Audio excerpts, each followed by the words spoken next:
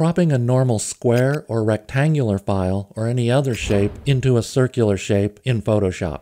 Hi, I'm CJ with Electric Eye Network. Here we go. Open the file you want. I'm using this camera logo, but I think it'll look cool as a circle. Now this is a single layer in a Photoshop project. I'll then go to the marquee tool, change this to the circular or elliptical marquee tool. Starting out, I used to have problems making the circle a certain size and then like, whoa, why is it moving way over there? Course, you can move it later, but then when you, you can't resize it, it starts over.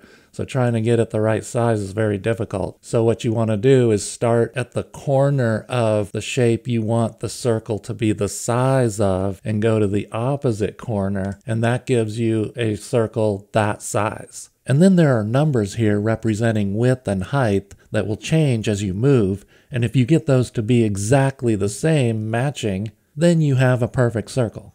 I'll just wing it and get it close. And then you can move this over afterwards. And that kind of centers it too. Now all you want to do is go down to layer masks, click that, and it makes a mask. So it just masked it out. You're done basically. But if I wanted to go to blending options, and if I'm going to put this over something, it would look nice to have a border. So go to stroke, and here's the color if you want to change it, but I'll, I'll say black is good.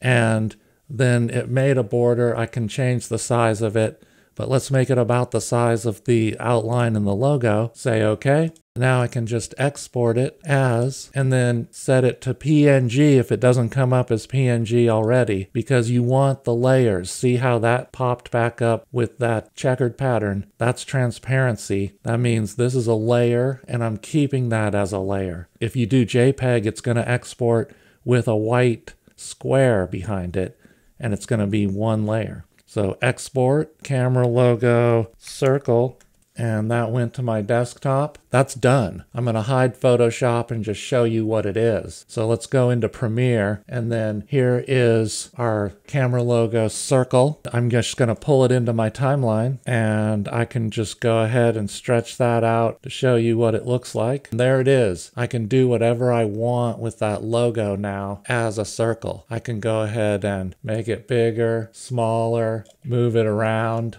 and then see what it looks like over things. What if I wanted it down in the corner here? What if I wanted to just have a bug there? Or what if I wanted it full to like start the show and then maybe wanted to have a blurred background? Wanted to have it zoom out, you know, whatever I want to do to animate it. But yeah, that is now a circle and you know, it's a good way to have right by a lower third here where the words come out here and you have this logo here, the company's logo or whatever. It's just a great way to make something look graphical without doing much to it. And of course, you can do whatever you want to it spin it, rotate it, do an effect, a transition effect coming in, or whatever. And there it is. We have our circular image cropped in Photoshop and brought into Premiere to demonstrate how we can now put it over any stills or video that we'd like.